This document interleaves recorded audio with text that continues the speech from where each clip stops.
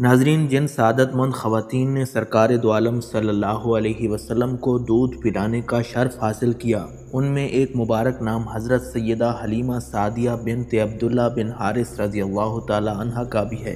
आपका ताल्लुक़ कबीला बनी साद से था और आप शर्फ इस्लाम सहाबियत से मुशर्रफ हुई। आपके शोहर का नाम हज़रत हारिस रज़ी अल्लाह तह था। आप भी साहिब ईमान थे और हजूर अक्रम सल्लल्लाहु अलैहि वसल्लम की सोहबत बाबरकत से फैज़ पाने वाले थे। नीज़ आप रसूलुल्लाह सल्लल्लाहु अलैहि की खिदमत में भी हाजिर हुए।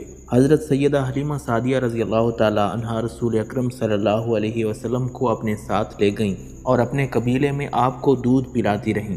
हज़रत हलीमा सादिया के पास रसूल अल्लाह सल्लल्लाहु ने बचपन के इब्तदाई साल गुजारे। हज़रत हलीमा सादिया रज़ी अल्लाह तहा की औलाद भी मुसलमान हो गई थी।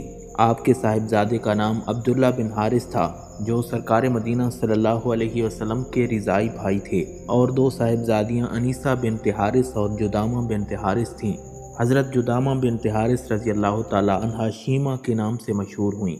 हज़रत हीमा रज़ी अल्लाह तहा आप सल्लल्लाहु अलैहि वसल्लम की बड़ी रिज़ाई बहन थीं और आपको गोद में खिलाती और लोरियाँ देती थीं।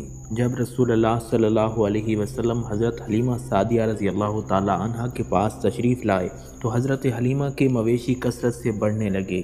आपका मकाम मरतबा बुलंद हो गया खैर बरकत और कामयाबियाँ मिलने लगीं। एलान नबूत के बाद जब हज़रत हलीमा सादिया रज़ी अल्लाह हजूर अली सलाम की खिदमत में हाजिर होती तो आप सलाम उनका अदब एहतराम फरमाते और मोहब्बत से पेश आते।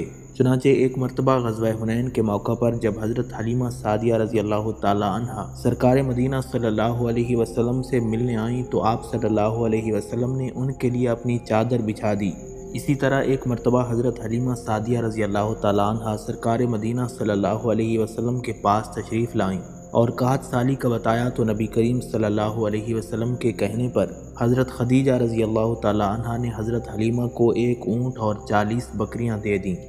नाजरीन, हज़रत हलीमा सादिया रज़ी अल्लाह तहा का मज़ार मुबारक जन्नतुलबकी कब्रिस्तान में मौजूद है।